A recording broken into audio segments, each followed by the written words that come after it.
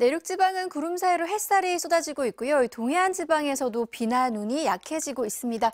이 시각 강원도 고룡령의 모습인데요. 나뭇가지마다 눈이 많이 쌓여서 축 늘어진 모습이고요. 눈발이 약해지면서 지금은 눈이 날리고만 있습니다. 오늘은 동해안 지방에서 가끔 비나 눈이 이어지겠고요.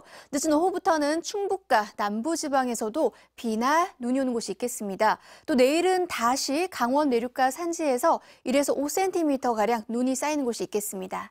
낮은 온화하겠습니다. 서울이 11도까지 오르겠는데요. 내일 낮부터는 찬 공기가 내려오면서 금요일 아침에는 영하권까지 뚝 떨어지겠습니다. 오늘 수도권 지방은 가끔 구름만 지나겠고요. 경상도 해안과 제주에서는 바람이 매우 강하게 불겠습니다. 낮 기온은 서울이 11도, 광주 14도, 대구 11도까지 오르겠습니다. 내일도 전국 곳곳에서 비나 눈이 내릴 것으로 전망되고 있습니다. 내셨습니다.